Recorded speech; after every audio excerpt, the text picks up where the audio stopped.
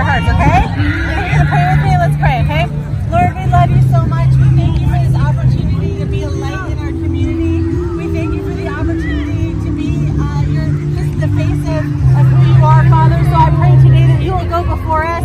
I pray for every hand that gets our candy, that sees our float, that gets an invitation to church, Lord. You will just move on their hearts, the Father.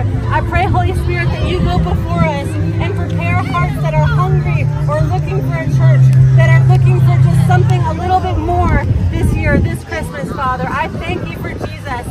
thank you that you, you gave us a way out, that you broke into the darkness and you saw us and you loved us. We thank you for Jesus. We thank you for the cross.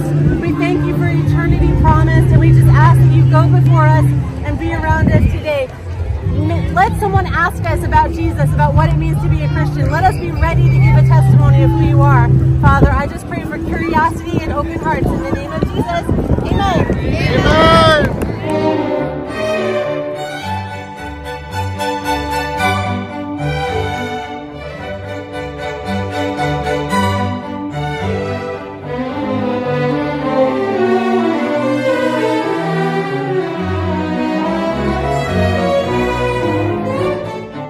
Hey! How you doing? You ready for the parade? What you got there? What happened to your hair? And you grew antlers. Oh.